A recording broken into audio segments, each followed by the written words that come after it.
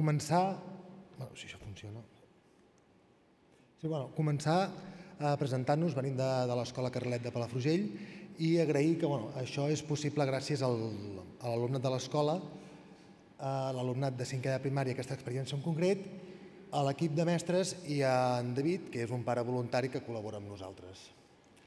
El projecte que, que hem dut a terme eh, té uns objectius de el que dirien dissenyar un videojoc, aprofitar eh, coneixements d'un projecte de ciències que tenen els alumnes, eh, aplicar eines de programació i impressió 3D, eh, eines digitals d'edició d'imatge i el treball en equip.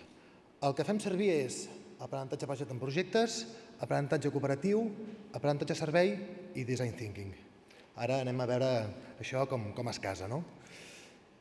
Bé, el, el primer que fem és que partint d'un projecte de ciències que els alumnes van fer l'any passat entorn a la necessitat de reciclar l'oli de cuina usat, doncs els hi proposem el repte de que dissenyin un videojoc que ajudi a la gent a prendre consciència d'aquesta necessitat.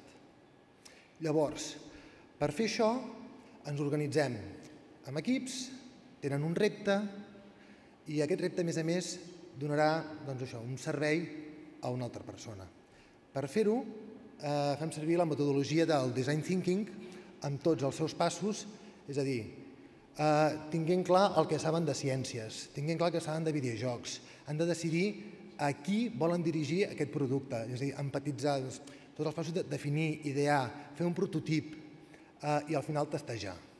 Llavors, això ho fem amb uns, amb uns canvas que els faciliten tot aquest procés, un procés que és compartit en tot l'alumnat, en grupets... bueno, mm, avancem amb això. Llavors, eh, el procés de, de disseny del videojoc ens és fàcil fer-lo perquè prèviament també han tingut eh, experiències d'aprenentatge amb Scratch. El disseny i el, el, que, el, que, el que proposen té uns personatges. Llavors, per facilitar i engrescar la gent a que escollin el seu videojoc o perquè sigui atractiu i la gent vulgui participar-hi, el protagonista del videojoc el dissenyen en 3D i l'imprimim.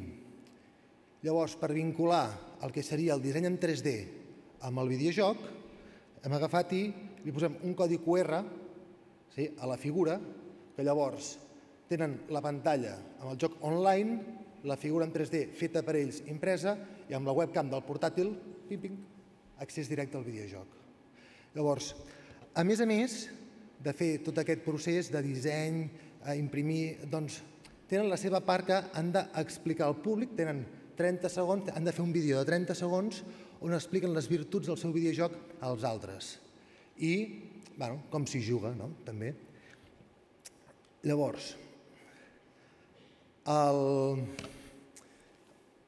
bueno, aquí presentem una mica el, el que s'explica també, clar, que aquí és molt ràpid tot plegat, eh, com fem el seguiment, com compartim el procés d'aprenentatge amb els alumnes, no una rúplica, no? que hi ha el, bàsicament important el treball col·laboratiu, ús del programa, la creativitat en la resolució del repte plantejat i aquesta, diguéssim, interrelació dels continguts que saben d'altres àrees sí, amb, amb el videojoc.